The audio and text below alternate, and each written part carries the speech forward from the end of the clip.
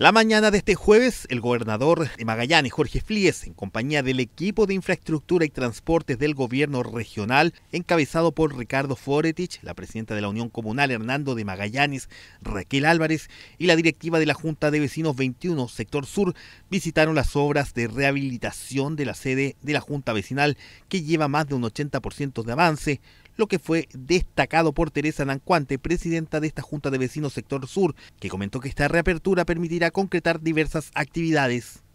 Empezamos en abril, los meses de abril, pero esta, esta sede estuvo cerrada más de tres años, desde antes de la pandemia, porque era inhabitable, no se podía. No sé cómo nos accidentamos, porque era una cama de agua el piso. Sí, no podíamos, especialmente, y tengo mucha actividad, especialmente tengo como 30 abuelitos de adultos mayores. Entonces para ellos era muy difícil. Nos reunimos como pudimos, estamos todos reunidos arriba de mi casa, pero nos vemos ahora que nos entreguen esto porque vamos a estar todos felices. Y especialmente todos mis vecinos también. Sí. Eh, hay conjuntos folclóricos, eh, este, como les digo, los abuelitos, centro de madre que estuvieron, pero por el problema del piso se fueron retirando. Pero como les digo, tenemos mucha actividad acá. Eh, porque no sé, porque en la calle más, más transitable, no sé, así que tenemos muchas actividades todo el año. Pero como le digo, desgraciadamente ahora está tres años, tres a cuatro años cerrado, así que no, hemos podido hacer nada. En tanto, el gobernador de la región de Magallanes, Jorge Fríes, destacó el trabajo que se está desarrollando tanto en esta sede vecinal como en otras de la zona.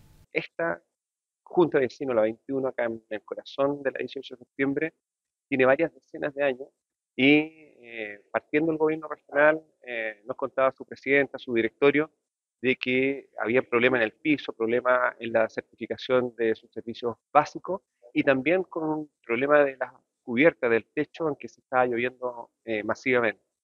Se levantó un proyecto y ahí también la gran ventaja que hoy día los gobiernos regionales, a través de sus unidades de infraestructura, pueden ser unidades ejecutoras y junto con eh, está la Junta de Vecinos número 21, la 25 de abril, la Manuel Bulne y la Nelda Panicucci, que son las que eran más urgentes rehabilitar.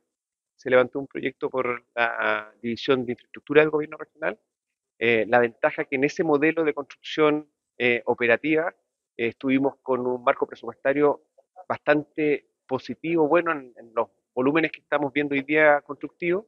Tuvimos muchos oferentes, tuvimos cuatro empresas que todas dentro de precios y con un marco presupuestario un poquito más de 180 millones de pesos, hemos eh, ya al mes de agosto y esperamos inaugurarlas en, eh, o reinaugurarlas en el mes de eh, septiembre, estas cuatro juntas de vecinos y especialmente esta que estaba con mucha necesidad, va a estar en óptimas condiciones para todos sus vecinos.